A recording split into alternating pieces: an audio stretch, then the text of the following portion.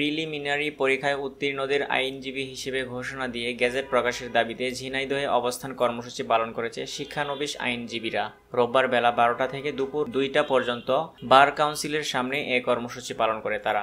এ সময় শিক্ষানবিশ আইনজীবী পরিষদ জেলা শাখার আহ্বায়ক তপন কুমার মুখার্জি, সদস্য আকরামুল কবির, শিরিন সুলতানা, মনিরা খাতুন, সেলিনা খাতুন, মিতা সাহা, কুলসুম খাতুন সহ অন্যান্যরা বক্তব্য রাখেন। শিক্ষানবিশ আইনজীবীদের এ কর্মসূচিতে একত্রতা প্রকাশ করেন আইনজীবী সমিতির সভাপতি ও সাধারণ সম্পাদক। এ সময় বক্তারা বলেন, আইনজীবী তালিকাভুক্তকরণ পরীক্ষার প্রিলিমিনারি সম্পন্ন হওয়ার পর বর্তমান করোনা ভাইরাস বৈশ্বিক মহামারীর কারণে লিখিত পরীক্ষা স্থগিত হয়ে রয়েছে।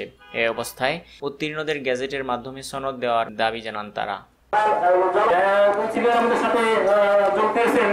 আমরা তাদেরকে আমরা রিটার্ন পরীক্ষা দেওয়ার জন্য আমাদের নতুন নতুন নিউজগুলো প্রতিনিয়ত আপডেট পেতে আমাদের ইউটিউব চ্যানেলটি সাবস্ক্রাইব করুন এবং ডান পাশের বেল বাটনটি চাপুন।